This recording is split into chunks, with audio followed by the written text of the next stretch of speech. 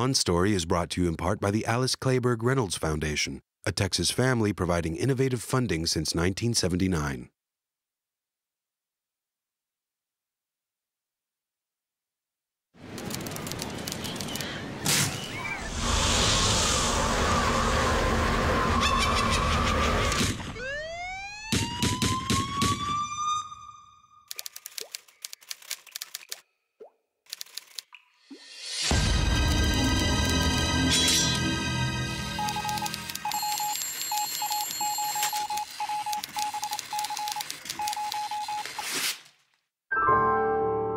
On Story, presented by Austin Film Festival, a look inside the creative process from today's leading writers and directors.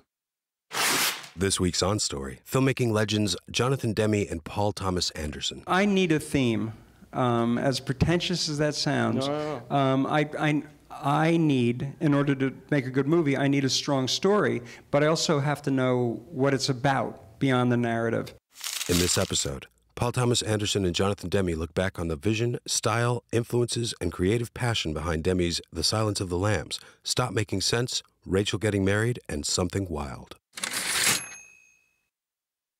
I kind of fell backwards into filmmaking. I, I, we did a, a little panel earlier, and I explained how like I mm, was a, did some movie reviews and wound up getting a publicity job and having Roger Corman read my publicity stuff and wanted me to write a script and then giving me the opportunity to produce that script. And then when I got intrigued with directing, he let me direct and stuff. And so for me, it was just like I was doing this directing thing first I did three, I, guess I, did, I directed three pictures with Corman, and I was just so both thrilled to be doing this. You know, I adored movies from the, from the first time I saw TV when I was like, you know, three when it was invented. You know, I was just like, oh my God, you know, and so I was just so thrilled to be doing it. I was also terrified because I didn't know what the hell I was doing really. Luckily, I teamed up with Tak Fujimoto early on, and he did know what he was doing, but I didn't know what a director was supposed to do. And then, and then over time, uh, and I kept getting opportunities, and I, I, I always, I loved every script that I was offered the opportunity to do. And um, I wasn't interested in, in uh, I was just interested in making another movie. And I, I recognized the need to be enthusiastic about the script that you do. Um, because unless we do something that we really feel passionate about, and that can be a comedy like Married to the Mob, or it can be something that's the most important thing in your life, like making a movie about AIDS discrimination. You've got to have that, that enthusiasm in order to do good work, for me anyway. What I love about my filmography is that I, uh, that I do fiction films and also uh, documentaries and also performance films and also television. So I think that's like really, I like that, that. I like that kind of, and I finally, after years of deciding, you know, I, I, I know I'm a good director, and I'm Mm-hmm. trying to get better and better every, everything I do every time out. So um, uh, I'm glad I haven't repeated myself, and I think if, if, if that's part of what keeps me going. There's certain kind of shots that you'll do, and perspectives that you'll go to, and times you'll choose to move the camera that are just like only yours. And um, my visual style was I had aspirations to for the kind of the classical Hollywood style. Um, I wanted to my, my movies to have you know dolly shots and things like look like movies by Raoul Walsh or you know the directors that I really love those Hollywood directors. So Tak and I, the, the, the, as our budgets got bigger, moving away from Corman, you know we, he, he could get some more equipment and what have you, and and so our style was evolving, and then we fell into the this kind of exploration of subjective camera, um, which worked so nice in little tiny tastes from Hitchcock and from Sam Fuller. So we were like, well, why don't we see how much more you can use that? You know, pulling the audience into the into the um, uh, character shoes and stuff. But then I started doing documentaries. And then at a certain point, I got, I got a little bit tired of, of the classical thing. You know, our, ver- my version of classical It became a little predictable to me, and I knew this would be a good time to dolly in and all that stuff for emphasis. And I was making more and more documentaries, so that's when Declan Quinn and I did um, Rachel Getting Married Together. It was, and I loved those. Um, those uh, dogma films, the, the um, Scandinavian films, so much that just felt so real, you know. So we decided to shoot Rachel getting married, um, pretending it was a documentary. We had no pre-planned shots. Even Declan didn't know how he was going to shoot it. I'm just sitting at the monitor, seeing what's going to happen next. The actors didn't know what was going to happen. So I made a big stylistic shift there.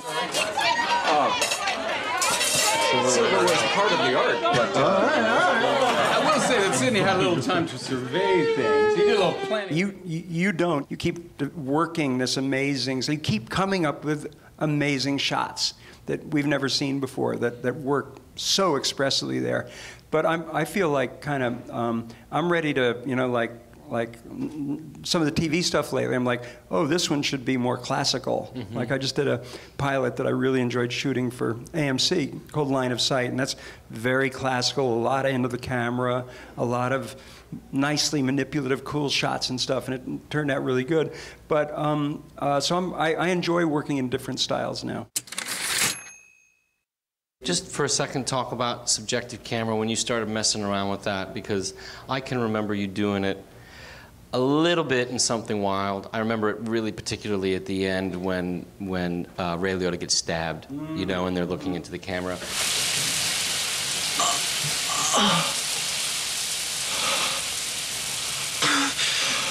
But when you did Silence of the Lambs, you really took it to, uh, uh, you really kind of grabbed it, and it was a very serious part of that movie. I guess my, I have a couple questions. Is how does that work when you tell an actor?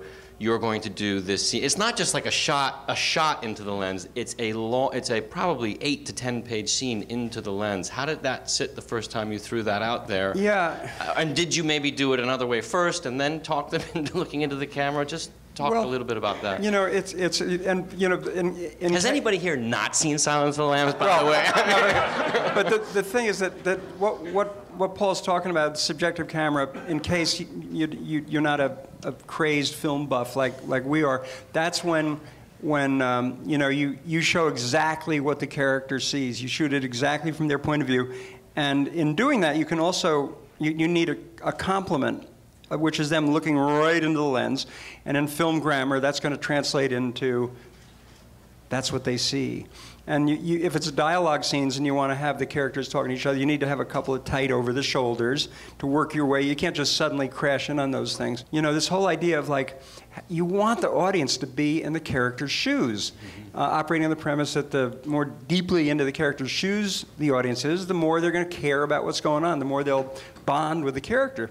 So we started kind of playing around a little bit more because it's it's scary to have to ask the actors to act to the camera to the lens um, you know, they may think you're insane or something.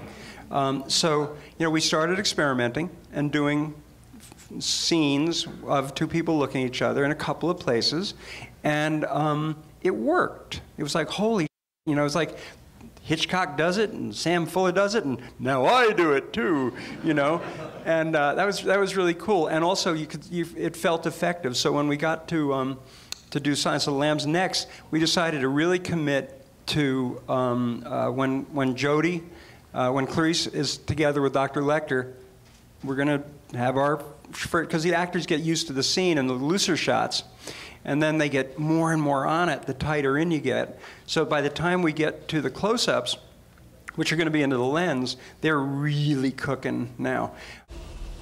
Now then, tell me, what did Miggs say to you? Multiple Miggs in the next cell. He hissed at you. What did he say? He said, I can smell your. I see. I myself cannot.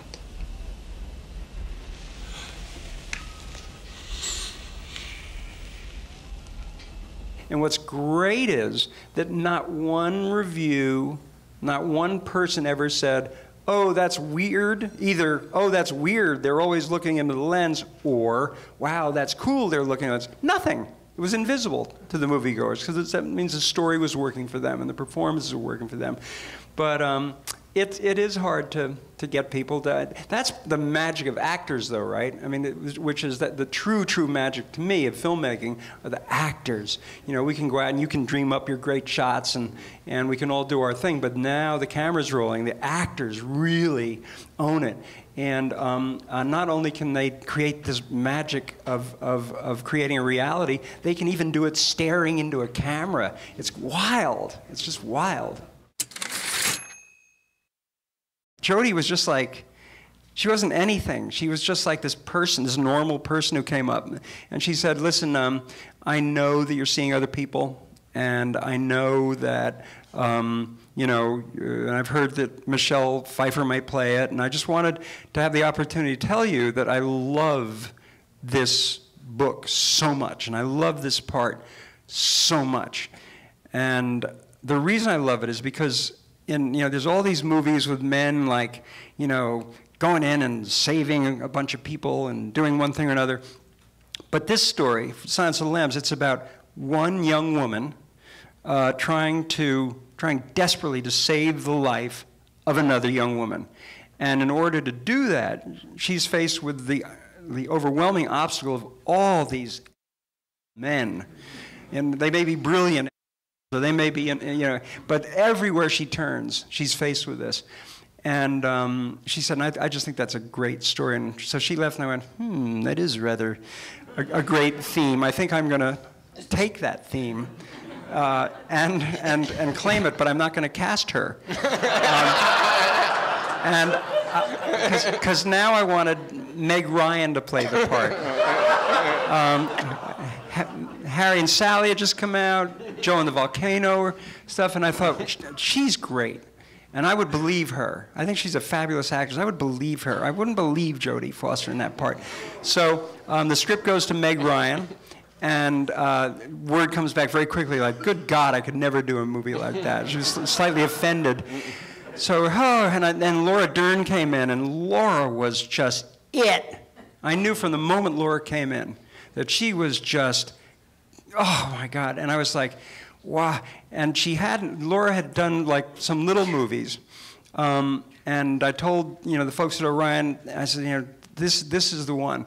And, and they were like, Jonathan, we're really worried about that in the context of Jodie Foster, who won an Oscar, who everybody loves, and she's desperate to do this, and, and you want to cast a relative unknown. So they said, please meet Jodie one more time. So Jodie came back, and I'm, I'm sure that other filmmakers have had moments like this. I'm sure you have, but, but it, the moment came where I met Jodie again. I was no, no more taken with her at all.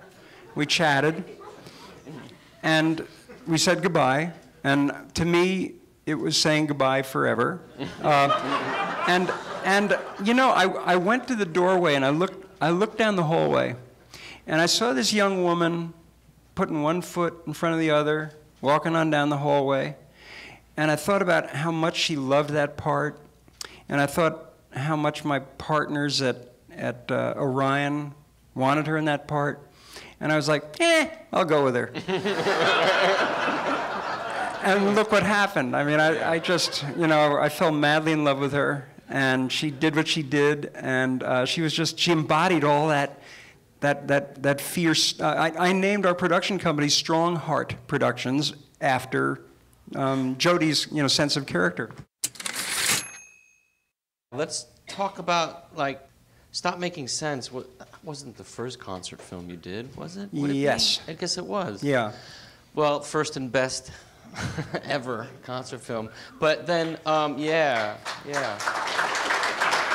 Thank you. But how did you? Um, you how did how did that happen, and how did that kind of yeah. begin this kind of long long resume now of, of performance films? Well, that was crazy because um, Gary Goetzman and I went to see the Talking Heads at the Greek Theater in Los Angeles, and what I saw on stage was, I thought literally a movie waiting to be filmed. There was this kind of this character-driven narrative going on with David with the, the different kind of uh, cha- uh, uh, even costume changes and attitude changes, and um, the way it, uh, the show brought the musicians on one at a time and visualized the development of the of uh, how that sound uh, expands and develops and deepens. And also, there was also this amazing lighting going on. And I was like, I turned to Gary and said, dude, we should film this. So um, we tracked David's management down and had a meeting with David. David came out and met with Gary and I beside a swimming pool in the Hollywood Hills. And David, David said this thing to me. He's like, um, and how will this concert film be different from all other concert films? and I, I feel like such a poser anyway. So I was like, oh, God. So I was like, gulp. And I said, well, David, it'll be your band and your music, and I'll be directing it, you know? And he's like, hmm, you know? But they came back uh, the heads came back and uh, had, had talked to the folks at Warner's, so they were going to finance it. So we just did it. And um, I reached out to Jordan Cronenweth, who I had had the privilege of working with on Citizen Band back in the 70s, and um, asked Jordy if he'd be interested in doing this. And, and part of the allure for, for David was that, that the lighting that he had, he was so, know, he, he, the, that was his lighting. He was working with a lighting director, but that was his lighting. Everybody, get in line. Nothing can come between us. Nothing you down. Nothing stretch your fancy. And he was never able to, to, to kind of know that the lighting as seen from the audience at the shows was what he was seeing in his head because there's just a little too much ambient light in a, in a, in a rock venue. So now, if we made this film, he'd have the opportunity to see the lighting that he had always seen in his mind. I never talked to Jordy about the light. David talked to Jordy about the light. And, um, you know, we, we shot the first night of that, uh, we shot at the Pantages Theater. And the first night, um, I was like, uh, talk about learning on the job. It was like, okay, you know, uh, we'll, we'll have the light up on the, you know, Jordy, can you do the stage, make that lighting okay, but, but can we have enough light on the audience so we can film the audience? And, and so, you we, yes, and he could thread that needle. And the first night, the concert was horrendous. It was a debacle because the audience had lights on them and cameras pointing at them, and they weren't giving good feedback, mm-hmm. and the band felt that, and it was disastrous. And you know, at the end of that show, it was like, okay, no more light on the audience. Um, and from this moment, this, this, this thing I love to do, which is never show the audience, was born. So the moviegoer gets to feel like this is for you. This wasn't for those people you see rocking out or not rocking out in that case.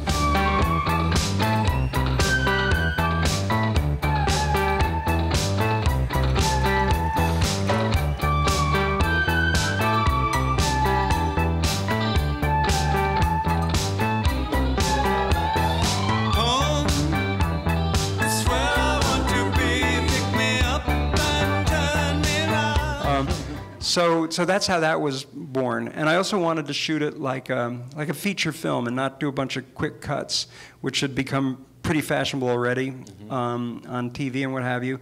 But um, just rather shoot it with you know expressive uh, uh, camera camera work and what have you. And uh, we Jordy gathered a bunch of fantastic operators, and we went out on a mini tour. Um, uh, the week before we were going to shoot because I wanted to test certain angles, and I wanted to write a script so that would uh, literally have a script of where, where the camera would be for every, at every moment at every song. I made this movie Citizens Band. Mm-hmm. And it turned out good. You know, it was about CB radio and what have you. And it opened in like, you know, like I think 1,600 theaters. And um, I swear to God, Nobody came. No one came to see this movie. It got wonderful reviews. It was kind of fresh off the New York Film Festival. It didn't mean jack. Nobody showed up. And the opportunities for me dried up immediately. In, I was living in LA then. and I couldn't get anything. Um, I couldn't get anything. I couldn't get a talk show, and and I needed money, and um, the DGA has this emergency fund that you, the Directors Guild, that you could go to them and get some money. And I, I went to them and I got some money from them. And uh, I was just like, oh, and I was calling my agents, and they, even they didn't want to take my calls anymore, you know?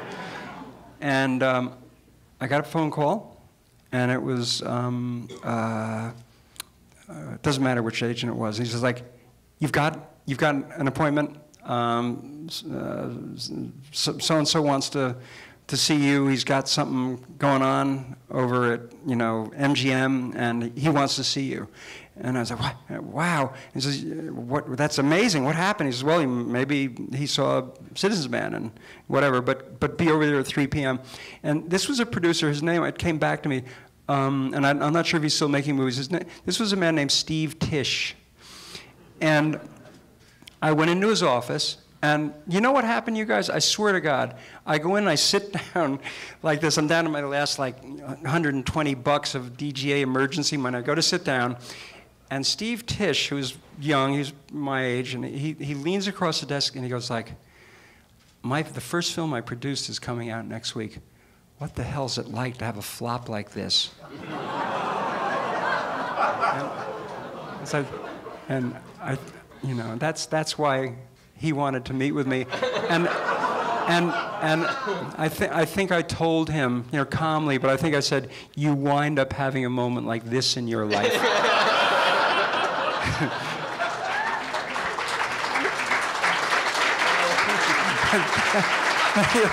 Thank you. Sympathy. Thank you so much. Thank you.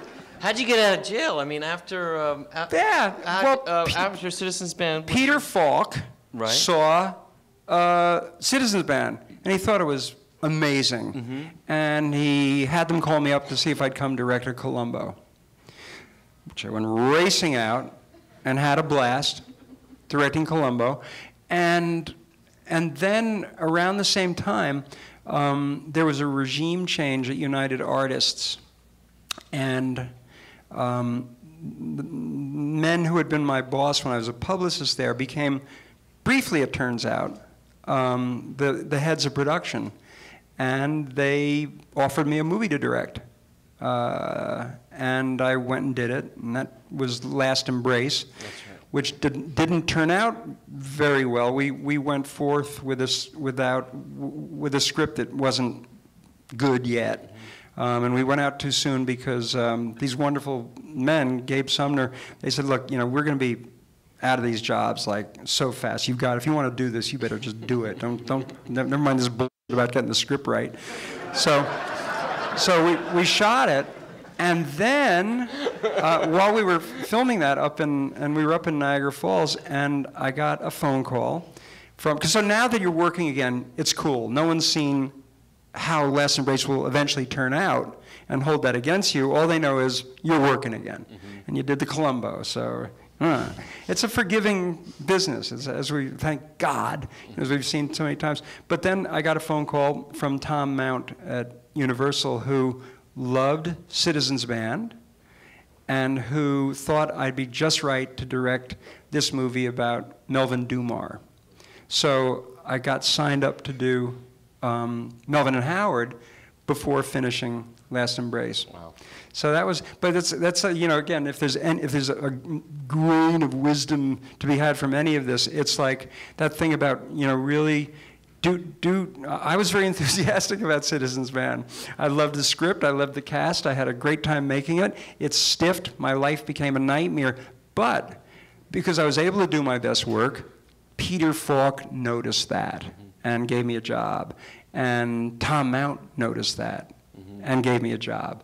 And I always tell, um, you know, my actor friends, I don't know, if, you know, what your philosophy is on this, Paul, but my thing is, it's like, like, don't be seeking leading parts, whoever you are and whatever you've done. Be seeking great parts, even if they're only one scene long. Don't don't take a mediocre leading role over a great. Actually, I've probably used this to persuade people to play small parts in my movies. Um, but you know, it's that. That's it because we are so judged. I guess everybody is in every business, but boy, it's so. You know, it's up on a big screen or a or a flat screen, a mm-hmm. plasma or something like that. So we we're judged by by our stuff, you know. And it's if you if you're not doing things that you can do with passion, well, you better watch out because your your work's not going to look very good. Right. You've been watching Jonathan Demme and Paul Thomas Anderson on On Story. For more On Story, check out our free podcast at onstory.tv or search the iTunes Store and get the book today, On Story Screenwriters and Their Craft, on Amazon. Música